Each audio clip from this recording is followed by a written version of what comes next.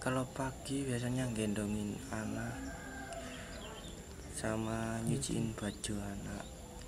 Jagain kalau malam.